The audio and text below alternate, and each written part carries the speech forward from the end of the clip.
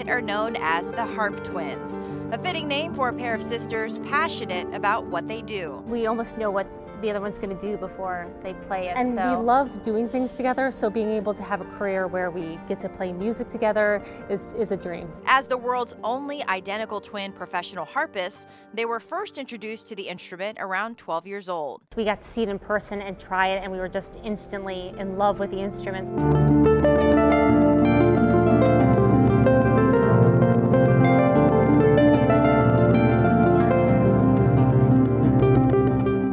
Classically trained with degrees in harp performance, the duo has traveled all over the world and their audiences were anything but ordinary. Some of uh, the artists that we've covered have seen it, including Billy Idol. He said, if you live long enough, you get to hear this version of White Wedding, and we had arrangements but of we've that. had world leaders in attendance, like presidents. Uh, President Obama was at an event we were playing for. Uh, former First Lady Laura Bush, Barbara Bush. But it's their sound that makes them unique.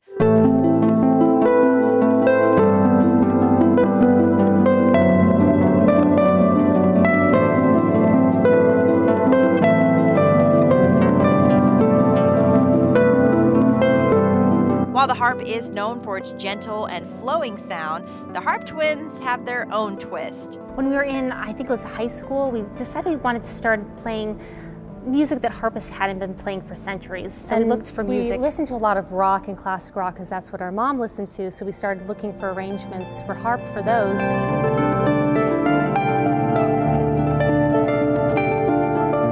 Sound that's traveled all over the world and heard by many, the Harp Twins can now add Alaska to that list. Yeah, this is our very first time in Alaska, uh, let alone our very first time performing in Alaska. And we've always wanted to travel to Alaska. We love northern climates, so this is our dream land, I think.